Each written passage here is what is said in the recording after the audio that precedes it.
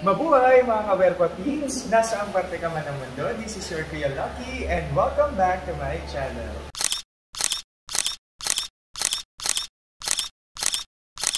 Wow! I never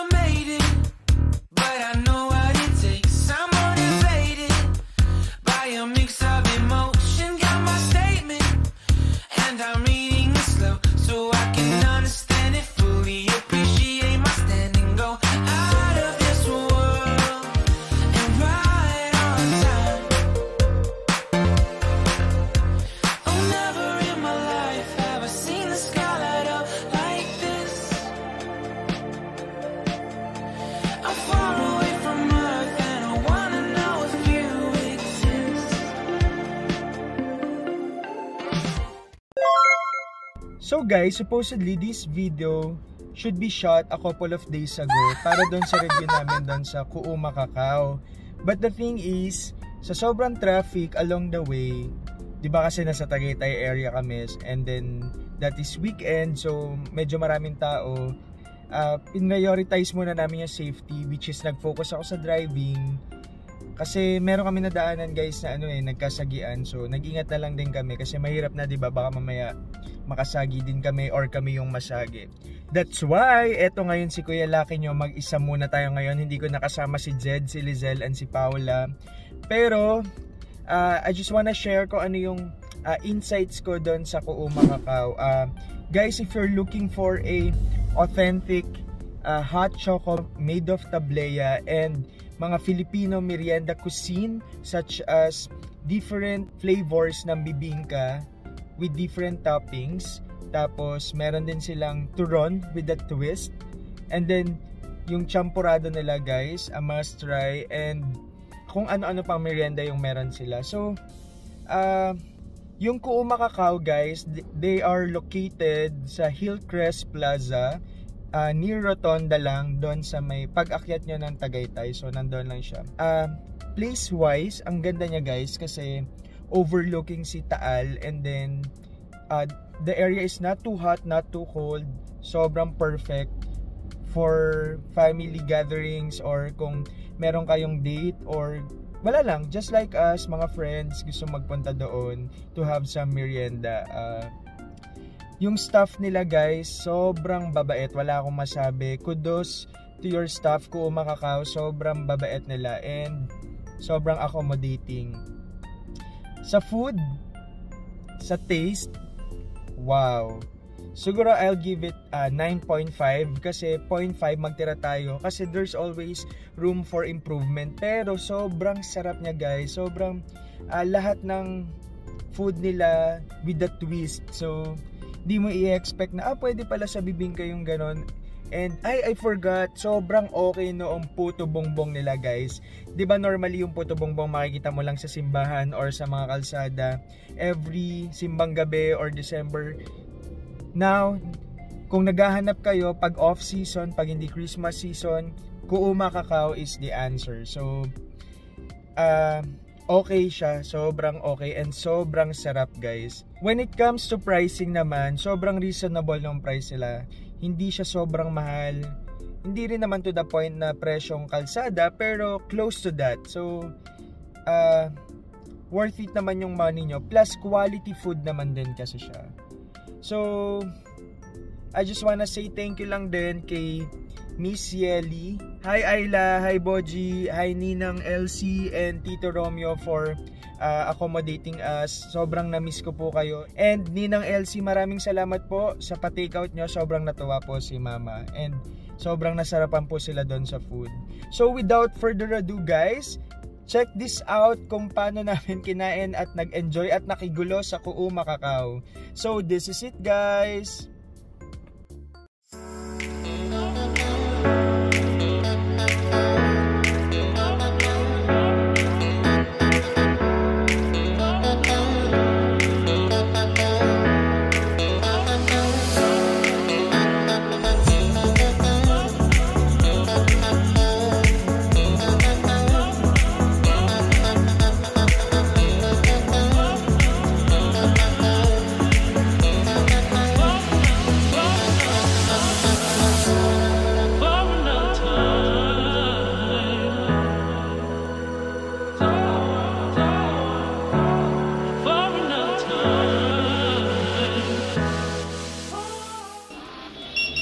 go get this man.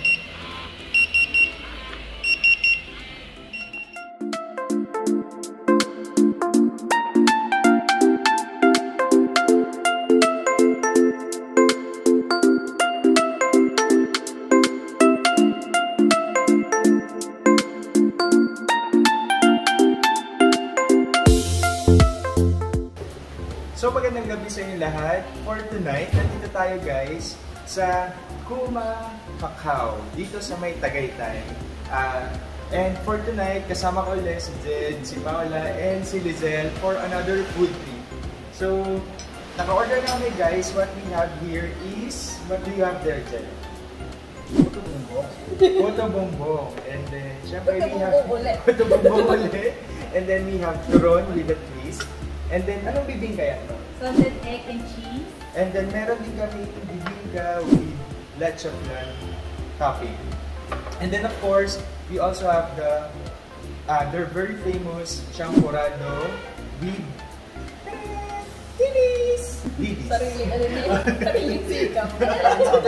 and then of course, uh, we have uh, their most uh, bestseller na hot choco made of tablenya. Then what do you have there, guys? Lemon and mint. Green tea. Green tea. Yeah. So, uh, we'll try these stuffs, then we'll tell you something about it. And I'm sure sobrang sarap yan. So, tara, kain tayo, guys. Ano na natin? Okay, kain na. Kain tayo. Kaya na normal. Sige. Aloy. Kain normal. Kain ng normal. Kain ng normal. So guys, kung naghahanap kayo ng authentic uh, hot choco and Pinoy merienda, eto, itong Kuma Kakao, located here in Hillcrest Plaza, Tagaytay. So, the second, ano to? Second, Sa second floor. The second. Second. Second. Coldest niya. Ano yan? Sabihin mo lang yung Tagaytay. kasi yung yung, Meron pa siya gusto sabihin, basta yung Tagaytay. Summer capital. ayun. Ah, okay. Second summer capital. Not so, not so summer capital. Not the first. But the second, Not the home. ay, hindi, hindi, hindi kasama. Not the capital. Na?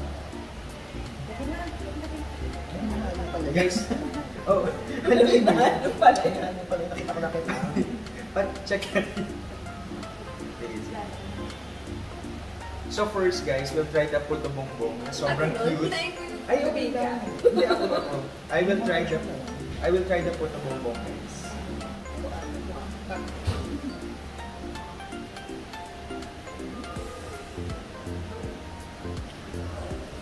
Sarap. Not too sweet. Di ba? Hindi mo siya, hindi siya. Ang sarap guys. Iba yung texture niya. Plus, juicy yung cream. Ano? ano yung creamy? Iba yung, critic namin. Ay, nasa ibang, ano na pala kayo planeta. Sarap ng puto mo. Ano tawag dyan? Mas kubado na. Mas pa ba? Musmut. Ang sarap, guys. Try natin itong bibingka with alam. Guys, let's try. So, syempre, ano natin with coconut. Bibingka with coconut. Sarap niya, kasi mainit-init pa, plus hindi siya dry kasi most of the bibingka pag niluto, medyo dry na yun. Pero ito, this one, ang fluffy niya, sarap. Yan, kamusta yan? Mas salty. Okay naman siya. Salty siya? Ito. Hindi. Okay, May cheese ko kasi yan. to eh. May cheese. Creamy yung Creamy. Hindi Ah, maalat. kami yung leche flan, it adds sweetness doon sa ano niya, big pagkabibingka niya. Sarap. Eh, parang sarap na sarap ka dyan. Ano, mas gusto yung puto bumbo. Try natin guys yung champurado. Tikman nyo to, yung may cheese. Sarap. Check muna natin guys yung bibis kung Kalat ko. Ito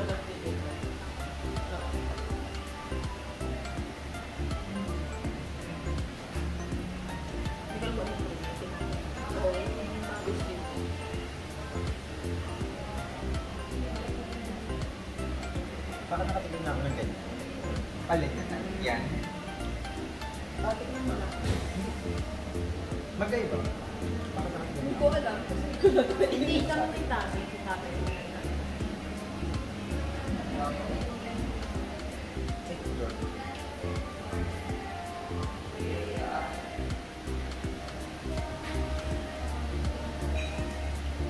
try niya. Tara. Iba yung effect ng leche. Guys, okay dito kasi, di ba mostly, yung puto bongbong, matat, uh, you'll only see it kapag ah, Christmas season. Pero ito, all throughout the year, ah, kung nagkikrib ka sa puto bongbong, dito, punta na kayo. Kaya natin yung hot choco, guys.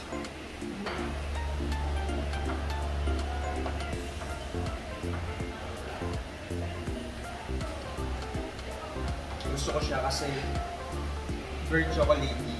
Saka ano, perfect siya for yung ganitong weather na not too cold, not too hot. So, perfect yung pagka chocolate. Ang baka magturon. Ha? Ganun ba yun? Oo, hindi na amoy. What's that? What's inside? Oh, that's inside. Ano yung beans? Ah, banana. May banana. Langka. Langka. Ay, hindi mo naman distinguish. So, tingnan natin pag... Kaya hatiin mo na lang sa Yeah. Guys, we will try the turon with twist. So, alam natin kung ano yung twist niya. So, sabay-sabay. Uh, sabay-sabay. Sabay-sabay. ハハハハ。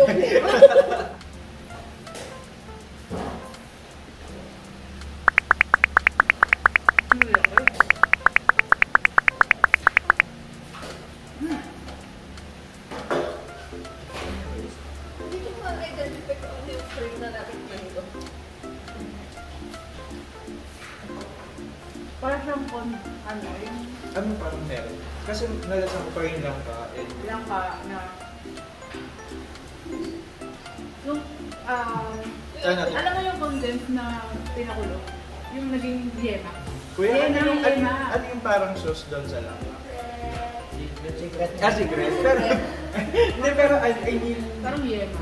ano ba yun? Mayema, ma... Mm, yung, Doon sa secret daw.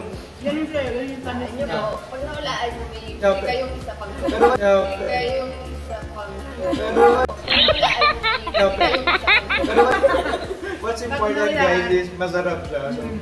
secret daw kasi, so hindi namin masabi. hindi rin nila masabi. Secret daw. So, it's for you to find out, pero masarap. Ito, oh, yung sauce ang secret. Bakit ang ma? Yung brown. Ito mas- yung brown na sauce. O, yung bas... Bakit ang ah, paano? So yun, yun yung secret. So namin, secret daw yun. So hindi namin alam kung ano yun. Kayo guys, ano yung favorite pagkain? Ah, pilihan ng Pinoy na gusto? Pao. Puto. Ah, puto. Puto. Ano puto to? Yung Puto ng chi? Ah, puto pa. Oo. Kasi siya si Pao. Ano? ko yung may Witty ka doon. na ano eh. Gusto niyang puto pao kasi siya si Pao. Puto pa.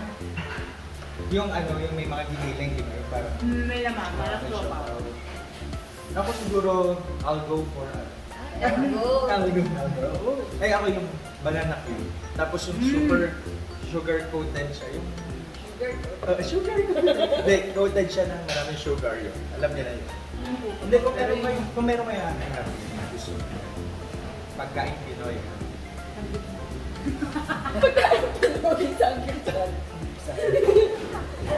Pinoy na Pinoy ah. Pero ako, ako, ano, nung nag-Korea ako, Ah, Merienda niya. Ah, merienda yun. Oh, sige, dahil napunta tayo dyan. Ako guys, every time may flight ako, pag uwi kong Pilipinas, or bago pa lang umuwi ng Pilipinas. Jollibee. Oo, oh, yun. Yung Jollibee. Kaya yung ano, yung isang vlog niya, may baon siya. Oo, oh, nag-drive-thru ako every, every, ah, every after flight, nag-drive-thru ako sa Jollibee. Tapos sabay-sabay kami nagbe-breakfast or merienda ng family. Pero ang pinakahinahanap ko talagang food is pagkain Pinoy na may sabaw. Like, mga, yun nga, sinigang. Kasi wala na sa ibang bansa eh. So, doon puro fried. Mm,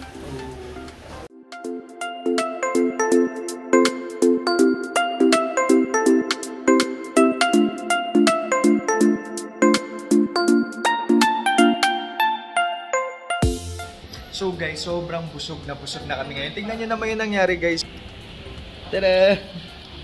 Wala na mapaglagyan sa mga tiyan namin. Pero yon yung turon, take out ko. Uwi ko yan kay mama.